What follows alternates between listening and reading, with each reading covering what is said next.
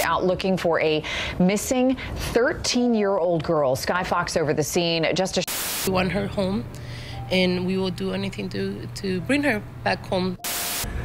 We don't know where she can be. We're scared.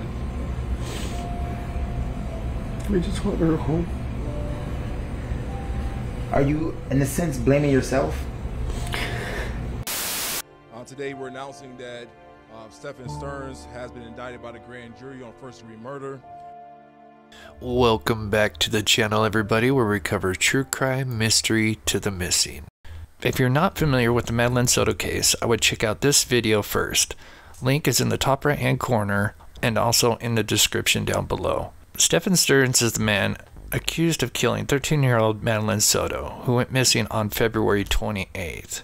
But after finding her body on March 1st and arresting Stephan Sterns, the public was shocked to hear that Stephan Sterns was not being charged with her murder, but was slapped with 60 charges of really terrible stuff that included child harm against Madeline Soto and much more. But no murder charges.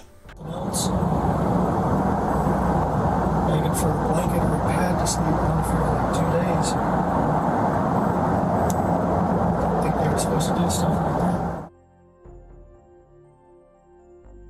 The public felt that perhaps this would come after the arrest of the mother, Jennifer Soto, who many felt like she had some kind of hand in this. But even though she had clearly lied about seeing Madeline getting dressed that morning, she has not been arrested. Rumor and speculation has it that Jennifer Soto has removed herself from the spotlight and is cooperating with law enforcement. Stephan Sterns, who was scheduled to appear in court earlier today, had his hearing canceled at the last minute. Unknown to the public at the time, but new reports claim Stephan Sterns is now being charged with Madeline Soto's murder. This perhaps is why his hearing was rescheduled for later this year. Along with the new charges, local law enforcement held a press conference in regards to the Madeline Soto case, and here were the highlights. I know the community and the media have been anxious for us to give an update on this case, um, and this is an opportunity for us to do that. For the last seven weeks, uh, seven and a half weeks actually, the Kissimmee Police Department and my office have been working closely to uh, go over every piece of evidence that we could gather in this case.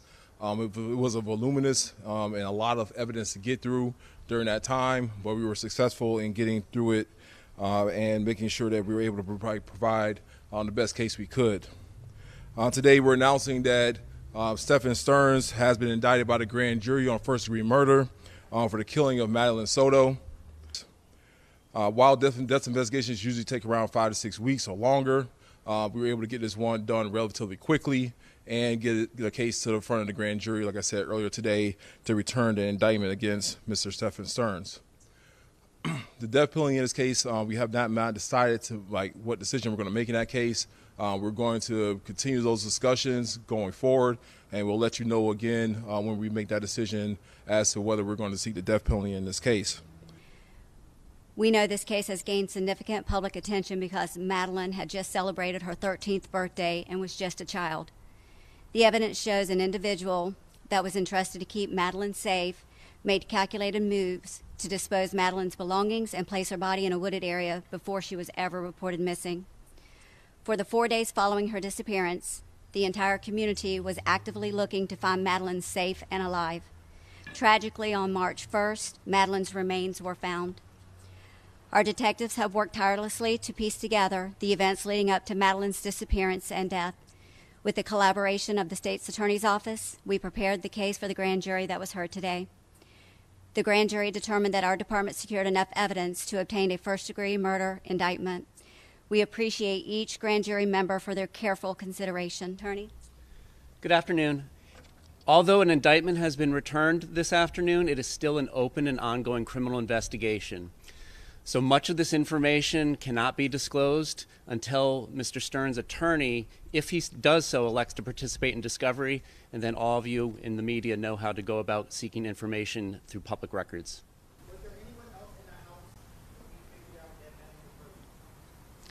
Not that we've uncovered.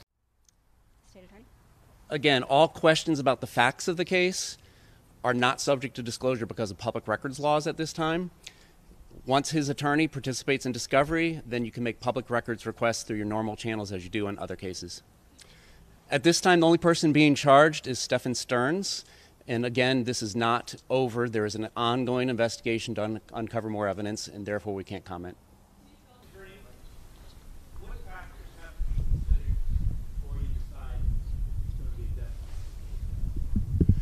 So, with any death case that uh, is reviewed by my office, uh, when it's determined to be a homicide, uh, we have to look at the statutory aggravating factors that are laid out in our Florida law. Um, once we've determined um, that we have sufficient evidence to prove those factors uh, to the proper evidentiary standard, uh, then we had to have to talk about whether this is a death penalty case. And that's a discussion that we're still going to be having for the next couple weeks to make sure that we're making a legal decision that's appropriate in this case. Cannot comment on whether Mr. Sterns has been doing anything. He has counsel. Um, and as far as plea offers, no, there are no plea offers made on the open case. Once his attorney participates in discovery, the public records laws change, and you all will be able to get a lot of that information. As far as the 60 counts that are already filed against Mr. Sterns, that is solely involving Mr. Sterns as a defendant. It's the family working with the investigation. It's an ongoing investigation. Can't comment on who's working with us. So thank you all so much for coming out today. If you need this gentleman's name, it is Will J. W I L. We will continue to report on this case when new information comes out. Please share your thoughts in the comments below, smash that like button, consider subscribing to this channel, and thank you so much.